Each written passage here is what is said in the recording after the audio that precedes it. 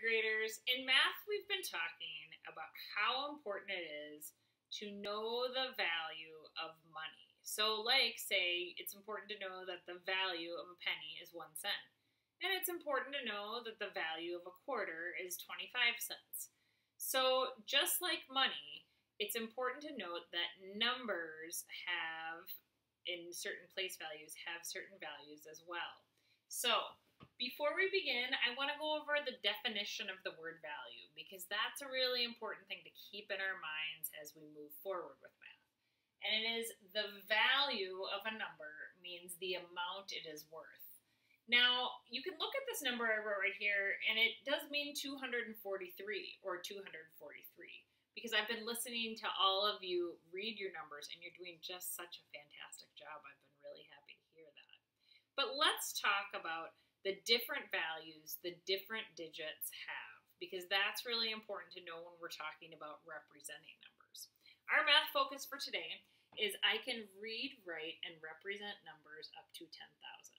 So, for example, let's look at this number I wrote on here, 243. Notice how I was really careful not to read it with the and in there, because that gets confusing when we start to talk about decimals this year.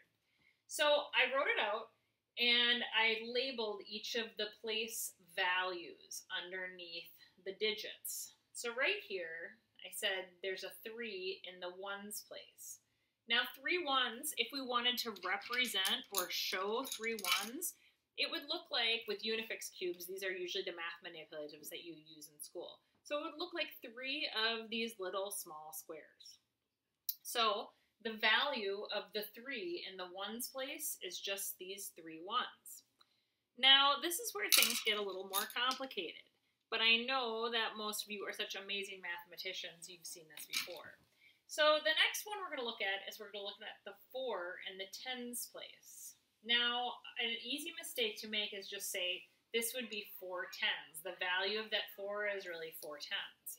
But if we wanted to look at what 410s looks like when it's represented by these manipulatives, it would be looking at four of these sets of 10. Now, how many individual cubes are there really? Pause this video for a moment and take a look.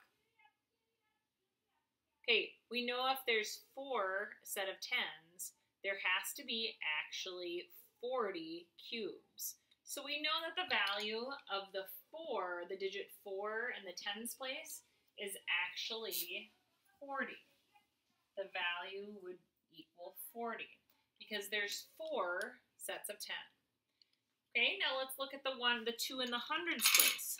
This is what a hundreds flat looks like. Hopefully back at school at some point and you will be able to hold one in your hot little hands.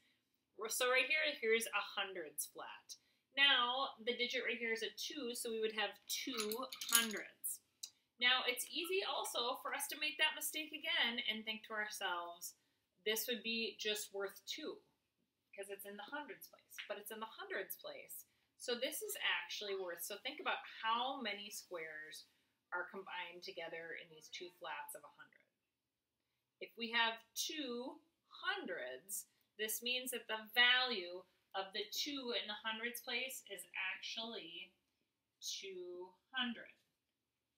Now, over the next couple of days, we're going to be talking about representing numbers lots of different ways.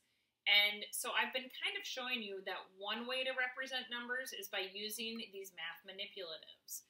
The other way to start thinking about when we represent numbers, and we'll come back to this in a day or two, is something called expanded form. Expanded form is when the digits of a number are written out with just their values added together. So if I have this number right here, 243, if I wanted to write it in expanded form, it would look like this. It would look like 200, because that's the value of the 2 in the hundreds place, plus 4 in the tens place, so that would be 40, plus 3 in the ones place. So if I wanted to write 243 in expanded form, it would look like, let me just erase these so it's not as confusing. It would look like 200 plus 40 plus 3. So if I wanted to add it together and make sure I got the right number, I could just do that on the side. I could add 200 plus 40 plus 3 and see what I get. So I'm adding in the ones column first. 0 plus 0 plus 3 equals 3. 0 plus 4, and that blank there means 0. So it's a 4, and 2 plus 0 plus 0 is 2. That's my number that I had right there. So this is 243 written in expanded form. Another great way to think about expanded form is if you took that number and you kind of exploded it in a big way into all its different values. So as you're working today, I really want you to think about the different individual values of each number. And if you don't remember what they are, you can look down and look in their place value area. Have a great day, third graders.